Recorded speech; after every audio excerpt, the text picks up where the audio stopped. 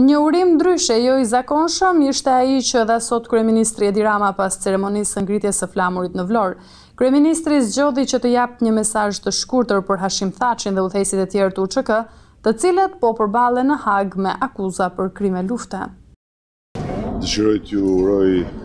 të gjithë shqiptarëve kudo që janë këtë ditë të bekuar të flamurit tonë kombëtar, të pavarësisë së Shqipërisë, dhe natyrisht në këtë ditë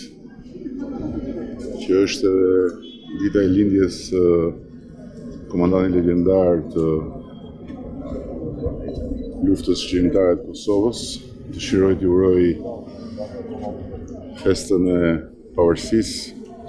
dhe ditën e flamurit, presidentit Hashim Thaçi dhe bashkëluftarëve të tij që sot nuk gjenden në shtëpi.